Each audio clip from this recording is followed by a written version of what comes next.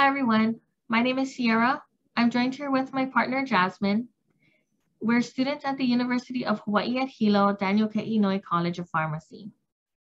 We'll be talking with you about what's the deal with hypertension. So we're gonna start off by taking a look at this number, 494,873.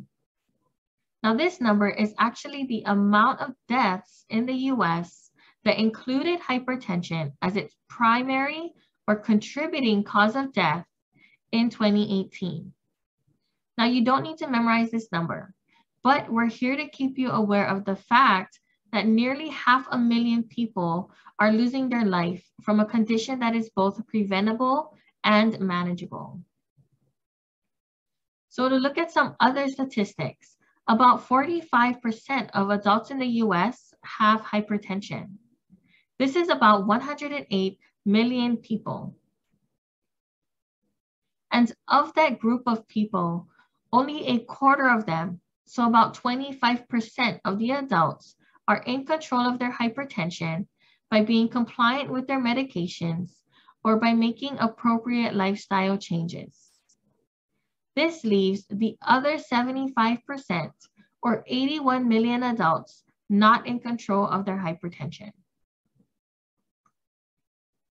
Now the topics we'll be covering include what is hypertension? What are some of the complications and signs of hypertension? What are the risk factors? What it is that you can do at home to prevent or manage hypertension? And then taking a look at understanding your medications and covering the blood pressure goals we want you to keep in mind. So let's start off with what is hypertension. So when it comes to hypertension, we're looking at blood pressure. Now, blood pressure is the measurement of the pressure or force of blood on the arteries. Hypertension means high blood pressure. This could look something like a systolic or top number greater than or equal to 140, or a diastolic or bottom number greater than or equal to 90. Something to keep in mind though, is that blood pressure fluctuates throughout the day, but it's when your blood pressure levels are consistently higher than normal, that's what can possibly lead to a diagnosis of hypertension. So now to cover the complications of hypertension. Some of the main complications that can occur when an individual's hypertension worsens or is not controlled include heart attack, stroke, kidney disease, eye disease, damage to the blood vessels, or bone loss. Now it's important to understand the complications because when we're looking at the signs of hypertension, there are none. So unlike many other diseases that have symptoms you can look out for, hypertension does not have that same ability. This is why hypertension is commonly referred to as the silent killer. Not unless you're always checking your blood pressure to see it being high or elevated, most people will go about their daily lives not realizing they have it. So let's take a dive into risk factors. Now, risk factors are the factors or conditions that can increase your risk of developing a disease. It's important to remember that just because a risk factor applies to you, that does not necessarily mean you will have hypertension. This just means that the risk of getting hypertension is higher, and that's why understanding how to control your blood pressure is important. So there are two types of risk factors, non-modifiable and modifiable risk factors. Now the non-modifiable risk factors are those that cannot be changed, such as family history, age, gender, and race. On the other hand, modifiable risk factors are the risks that can be changed if various measures or actions are taken.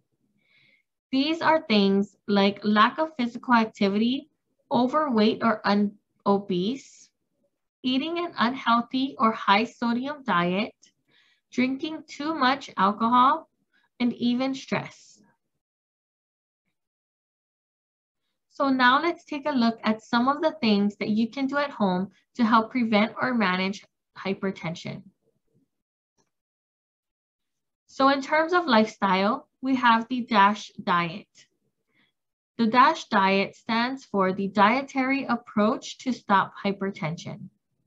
And the goal of this diet is to create a heart-healthy eating style that is both flexible and well-balanced.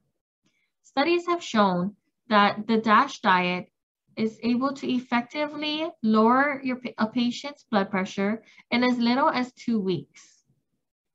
It can also furthermore help reduce the risk of heart disease and stroke. Some other main components of the DASH diet includes lowering your salt intake because an increase in salt has been linked to increased blood pressure levels. Now, one of the ways you can address this is by looking for low to no sodium options and then also choosing fresh foods instead of processed foods. If you look to the picture on the right, you'll see that the DASH diet is rich in fruits and vegetables. It also includes low fat or non-fat dairy products. And then other things like whole grains, lean meats, nuts, beans, and seeds. The DASH diet is also high in fiber and only includes low to moderate amounts of fat with an emphasis on reduced saturated fats, such as fast food, and alcohol restrictions. Some other tips Jasmin and I have gathered include rinsing your canned items. So things like canned vegetables. Rinsing them can help remove the added sodium from the package. You could also cook skinless chicken by baking it on a rack or air frying. And then avoid adding extra salt to your meals when you're cooking. Another good tip is by meal prepping for the week. This can help you avoid getting fast food or buying takeout. Now, in addition to the DASH diet, we also want to say no to alcohol and smoking. So when it comes to alcohol, it's recommended that males limit their drinks to less than two per day and females limit their drink to less than one per day. Now, a drink is defined as a 12 fluid ounce of regular beer, which is equivalent or equal to eight to nine fluid ounces of malt liquor, five fluid ounces of table wine, or a one and a half fluid ounce shot of an 80 proof spirit or hard liquor. And these numbers are based on the amount percentage of alcohol within the drink. And on the other hand, with smoking, smoking is a major risk factor for cardiovascular or heart disease. So it's recommended to quit smoking or undergo smoking cessation. Now with exercise, there's aerobic activity and 40 minute sessions four times a week of moderate to vigorous physical activity is an appropriate recommendation. If trying to promote weight loss, then 60 minute sessions are also recommended. With exercise, sometimes you just need to take the first step and start. Because even a weight loss of at least 10 pounds can also significantly decrease your blood pressure levels, especially in overweight patients. Now, some of the types of activities that you can do that are moderate intensity include water aerobics, cycling less than 10 miles an hour, ballroom dancing, or general gardening. On the other hand, some vigorous intensity examples include race walking, jogging or running, swimming laps, hiking, or doing more heavy gardening. Now, Jasmin will talk to you about understanding your medications.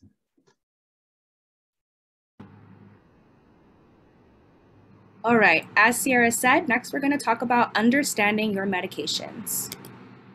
Common blood pressure meds your doctor may prescribe you include ACE inhibitors such as lisinopril, the class of angiotensin receptor blockers or ARBs, common one is losartan, diuretics such as furosemide, and beta blockers like metoprolol.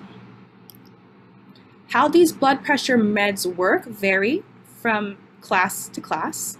However, they work to lower the amount of pressure or force on arteries. ACEs and ARBs help to relax and widen the blood vessels. Thiazide and loop diuretics help to eliminate excess sodium and water from your body. And beta blockers make it easier for your heart to pump and widen your blood vessels. When taking your medications, it's important to take them exactly as directed per your doctor or primary care physician's instructions. Also be cautious about potential interactions from other things that you may be taking, such as caffeine or nicotine products, as well as cough and cold drugs.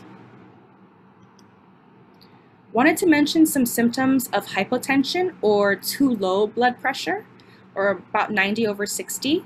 This is more common in elderly population and may present as dizziness and tiredness, having nausea or blurred vision, rapid shallow breathing, as well as weakness and cramping. Ways to manage this is to always stand slowly from a seating or laying down position and to drink lots of fluids unless otherwise directed by your doctor. Side effects can differ based on the drug being taken, as well as from person to person, so contact your doctor or pharmacist to learn more. As Cierra mentioned earlier, hypertension often does not have any noticeable symptoms.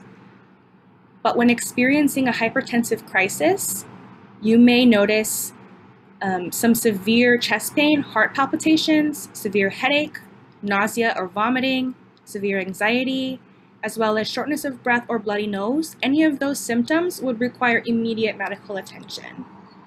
Just wanted to bring that to your attention. Now we'll talk about blood pressure goals. For most patients, 140 over 90 is an appropriate target blood pressure. Here is a graph from American Medical Association on how to me measure your blood pressure at home. Let's watch this video to learn more. Here's how to take your blood pressure at home. Before you begin, two hours before, no alcohol or eating. 30 minutes before, no tobacco, caffeine, or exercise. First, Sit down and relax in a chair that has a back. Uncross your legs, put your feet flat on the floor, and keep your back straight. Wait five minutes before beginning and try not to talk during this time. Take your log sheet and pen out so that you are ready to record your measurements. Grab your blood pressure monitor, set up the cuff per its instructions, and make sure your arm is out straight and supported on a flat surface. Begin taking your blood pressure and make sure there are no distractions or talking during this time. After the reading is complete, wait one minute, then measure a second.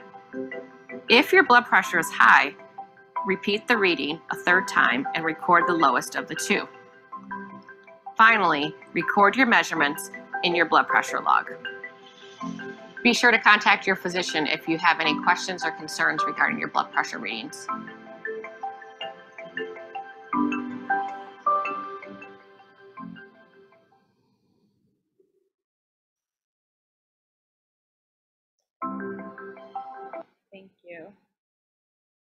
So for more information, you can visit the American Heart Association, the Center for Disease Control, or the World Health Organization. They're all great resources where you can find a lot of important and relevant health topic information. Remember, for a healthy heart and soul, hypertension should be controlled. Thank you so much for listening today. And here are our resources that we use for this presentation.